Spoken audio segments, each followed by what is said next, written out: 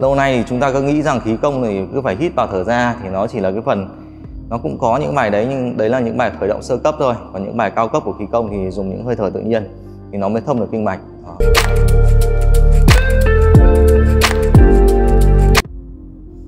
Om Mani, chào các bạn, tôi là cư sĩ Phúc Thành đây. Trong video này thì tôi sẽ hướng dẫn cho các bạn chi tiết về bài vẩy tay dịch cân kinh 4 thức. Lâu nay vẩy tay dịch cân kinh thì đã cũng khá là phổ biến ở Việt Nam rồi. Nhưng mà trước thì chúng ta mới chỉ có một bản, một cái bản như này thôi. Như vậy này, bốn lần đến lần thứ năm chúng ta nhún xuống Thì công năng thì nó vẫn còn bị hạn chế. Bởi vì trong bốn lần vẩy đầu ấy Khi mà chúng ta chỉ đứng vẩy này thôi thì khí nó bị ngắt Ngắt ở, ngay ở cái phần vai này Tức là nó không đi xuống được nữa nó chỉ liên quan được phần tay thôi. Thì nó cũng chưa đúng với tinh thần dịch cân kinh chưa đúng tinh thần của khí công là cần phải đồng nhất thể. Tức là cùng một lúc là tập tất cả bộ phận nó thông hết khắp toàn châu thân thì đầy đủ dịch cân kinh thì chúng ta sẽ học dịch cân kinh bốn thức. Nó có những bốn thức để tập luyện. À, kết nối toàn bộ cơ thể và chữa rất là tốt những cái bệnh về tê mỏi tay này nó thông hoạt vùng tay này. Sau khi tập tốt rồi thì ngón tay lúc nào nó cũng sẽ hồng hào này nó bơm khí ra hết tất cả các đầu ngón tay.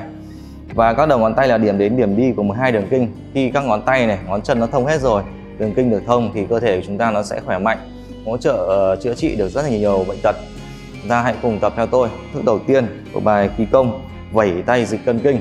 Bài này là tiền đề tập trước, sau đấy chúng ta sẽ tập tiếp bài dịch cân kinh 9 thức, gồm có 9 động tác, thông hòa toàn bộ cơ thể và chữa được rất là nhiều các bệnh khác nhau.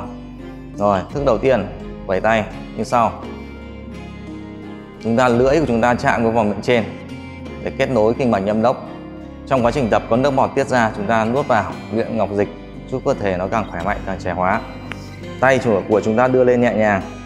Khi đưa lên chúng ta không để thẳng tắp tay tay nó hơi chùn một chút để có lực nhu để chúng ta xuống nó được nhanh. Tôi đang làm mẫu ở tốc độ chậm. Tức là lên thì nhu này, xuống thì nó phải nhanh nhẹn dứt khoát. Và gập cái cổ tay này, gập sau, gập tay nó ra sau này thì nó mới thông được cái phần khớp tay, thông 10 đầu ngón tay. Chúng ta hãy xem thầy Phúc Thành làm mẫu trước. Hơi thở thì hoàn toàn tự nhiên lâu nay thì chúng ta cứ nghĩ rằng khí công thì cứ phải hít vào thở ra thì nó chỉ là cái phần nó cũng có những bài đấy nhưng đấy là những bài khởi động sơ cấp thôi. Còn những bài cao cấp của khí công thì dùng những hơi thở tự nhiên thì nó mới thông được kinh mạch. Đó. còn hít vào thở ra thì nó chỉ thông được lúc đấy thôi. Khi bạn không tập nữa là nó kinh mạch nó không chạy được. Đó. chúng ta hãy cùng tập nhá. Hơi thở tự nhiên không cần quan tâm hơi thở chỉ quan tâm động tác. Đấy, tôi đang làm đúng tốc độ của nó. Lên thì tay nhu mềm mại này. Xuống thì nhanh nhẹn dứt khoát. Chân chúng ta bám đất, không cần thiết phải bấm 10 đầu ngón chân. Chân cứ đứng bình thường, bám đất là được. Tay nhu xuống, nhanh. Xuống càng nhanh càng tốt, có tiếng gió phần phật. Đấy, tôi vẩy nó có, ra cái tiếng gió phần phật đấy chúng ta cũng phải vẩy như vậy.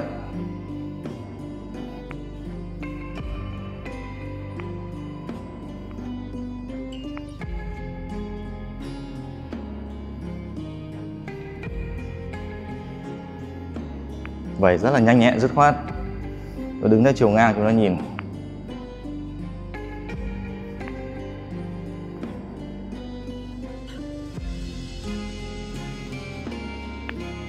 Rồi. Thức đầu tiên dịch cân kinh kết thúc. Chúng ta có thể thiền đứng. Thả lỏng hai tay hai bên thiền đứng, hơi thở tự nhiên.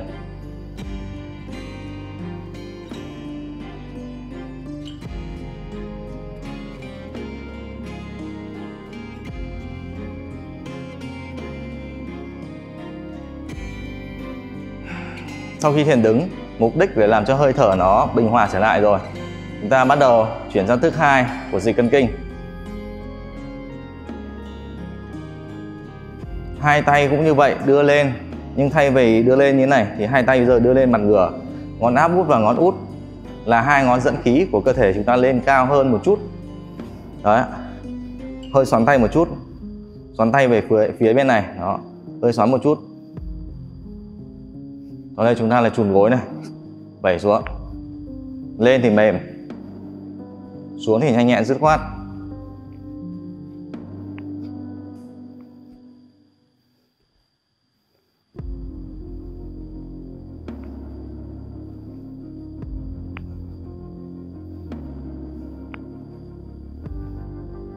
Lên tay ngửa, xuống thì vẫn giống lúc nãy, xuống vẫn thành sấp.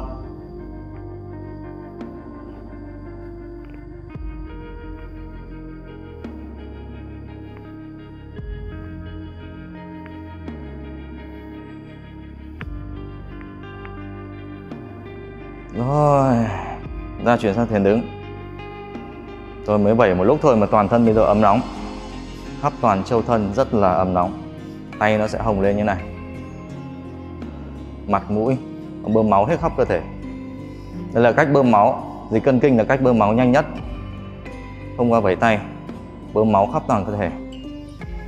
Cơ thể của chúng ta có khỏe mạnh hay không là nhờ hệ thống khí huyết khắp cơ thể đều tràn ngập khí huyết thì cơ thể nó sẽ rất là khỏe mạnh bệnh tật nó được uh, tiêu trừ. Thức thứ ba của vẩy tay dịch căn kinh. Nó sẽ là một động tác giúp làm mạnh thận thông hoạt vùng lưng thông hoạt vùng phế. Đứng trên đầu ngón chân hơi nghiêng người phía sau một chút. Nhớ phải đứng trên đầu ngón chân nhá không phải đứng bình thường này. Đứng trên các đầu các ngón chân này. Ném ra. Động tác như ném đá nhớ không được để tay sang quá rộng này, tay chỉ vừa phải ở vùng ngực.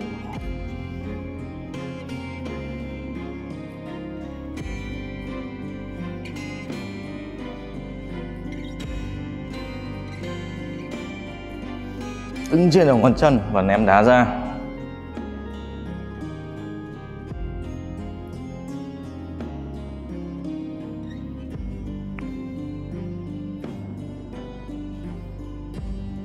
Mỗi động tác, mỗi thức này chúng ta tập 30 lần. Không cần phải tập hàng nghìn lần, giống với bản cũ, bản mới này. Bản hoàn chỉnh đầy đủ này chỉ cần mỗi thức 30 lần. Ta xem theo mặt ngang. Nhớ phải đứng nhón trên đầu ngón chân như thế này.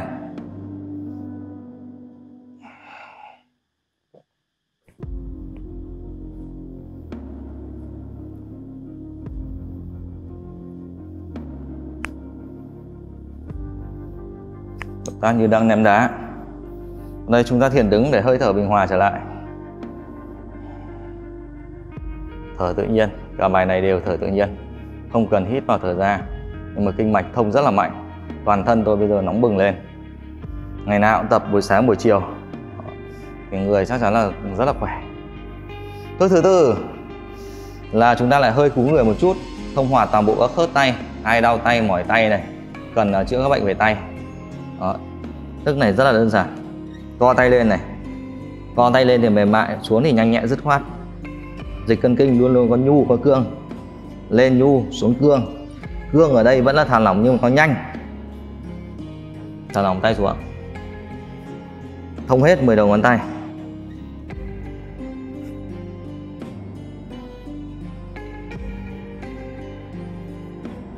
Lên nhu, xuống nhanh cũng 30 lần mỗi thức 30 lần 4 thức 120 lần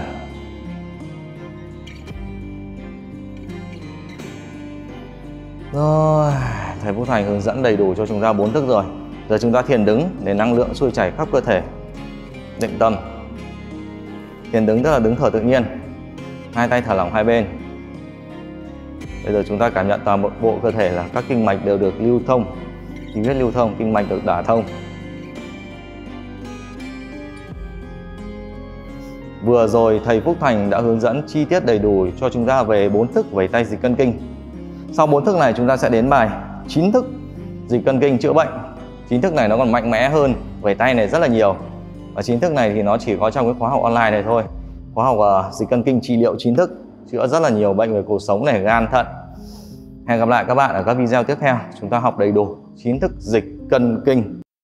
Lợi ích khi đăng ký khóa online dịch cân kinh trị bệnh được học bài bản theo đúng thứ tự chuẩn của khí công chữa bệnh bài 1, bài 2, bài 3 đây là một điều rất quan trọng để tập chữa bệnh hiệu quả được học đầy đủ chiêu 10, thông khí toàn thân.